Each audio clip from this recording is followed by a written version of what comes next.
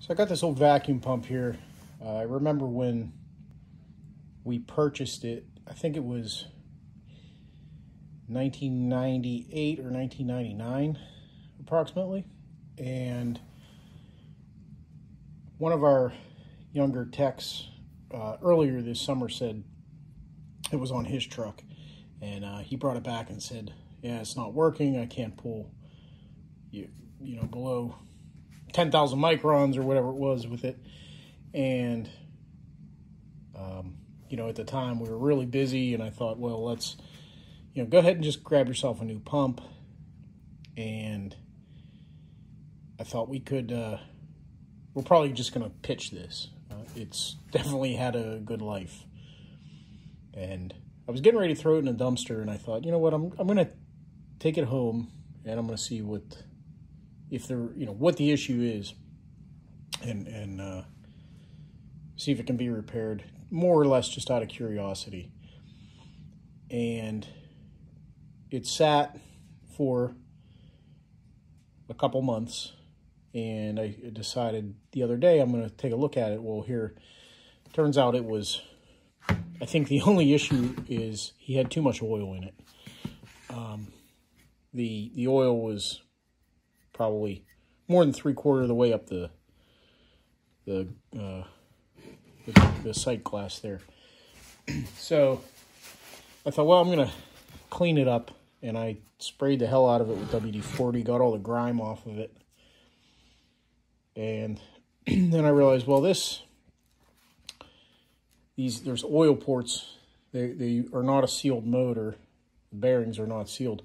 So I thought I'm gonna put some oil in them well, kind of a design flaw, I think, is in order to pull this, uh, to get oil into this port and get the cap off, the dust cap off, you have to pull it apart.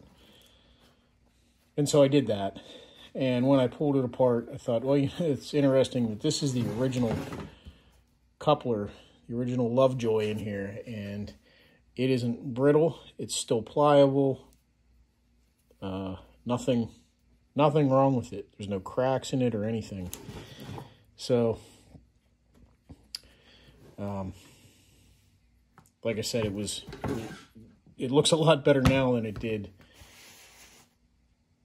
an hour ago.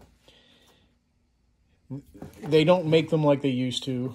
This Robinair brand, from my understanding, um, either the, the name was sold, the company was sold to China or uh, just all the manufacturing went to China. And I believe from, I haven't had personal experience with it, but I think the new Robinair pumps are some of the cheaper ones you can buy, and you definitely don't get your money's worth. Um, this being over a 20 year old pump, and it was when I was doing installations, it was my pump and then it uh, went to a couple other guys along the along the time, and it it has definitely had some hours on it. Would be pretty cool if we knew how many hours were on it. It would actually be cool if the serial number was not rubbed off because of the way they they stick it on here. It's you know when it's right up against something, it, it's all rubbed away. So we don't know for sure what the hours are. I know we have two other pumps that are a little bit newer than this, and they are, uh, the plastic is blue, and they're at least four or five years older, or I'm sorry, four or five years newer when they went to the blue plastic. So I think just that red shows the age of this thing. Um, it does have a couple issues. This bolt uh, comes down into the uh, pump part, you know, into the, uh, the vacuum pump part. But the other side of the handle that, that it, you know, this is all one piece that encloses the electrical. There's uh, four screw holes that attach uh, to the motor. And this is cracked all the way across, so that one's ready to go. Well, that one went. Um, you know, so those they're shot. And the two on the backside are also broken off. So that's unfortunate. Um, but again, I mean, for over 20 years old, what can you, you know, what more can you expect? Um, so I added oil to it, to the motor, which was probably the first time it's ever been done. And I'm going to put it all back together. Unfortunately, I don't have any vacuum pump oil with me uh, today to do a test and see if this thing pumps down properly. Uh, but the other day, after when I drained a little bit of oil out, I put, you know, my finger over it, and you know, it's definitely pumping. I don't think there's a problem with it. I think it was just the fact that there was too much in it. That being said, we just purchased a almost seven hundred dollar Fieldpiece pump that uh, didn't get us through the summer. And that has been shipped off to Fieldpiece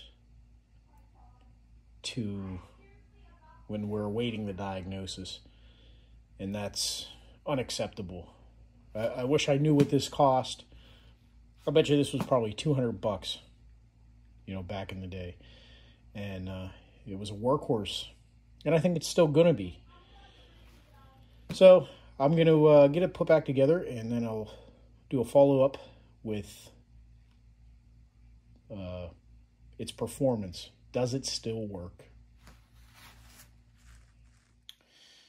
P.S. I was putting this thing together um, and I found a little bracket in my drawer here and I uh, so I drilled it out and put the factory screws back into the motor into that bracket to replace the broken plastic.